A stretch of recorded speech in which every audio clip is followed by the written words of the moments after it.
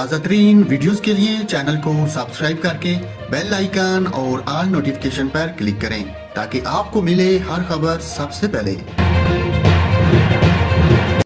नाजरीन, आपको बताया महकमा मौसम जात ने मूल अखबार में मानसून में मामूल से ज़्यादा बारिशें होने की पेशगोई कर दी।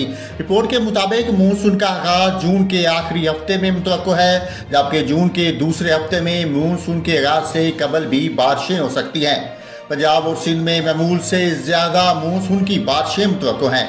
महकमा मौसमियात के मुताबिक मानसून के पहले मरले का यकम जुलाई से अगस्त के वस्त तक जारी रहने का इम्कान है, जबकि मानसून का आखिरी मरला अगस्त के वस्त से सितंबर के आखिर तक जारी रहेगा।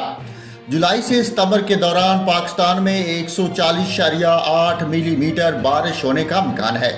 महकमा मौसम जात का यह भी कहना है कि मानसून के दौरान मैदानी इलाकों, दरियाओं, नदी नालों में सैलाब आ सकता है, जबकि मूसलाधार बारिशों से पहाड़ी इलाकों में लैंड स्लाइडिंग का खदशा होगा।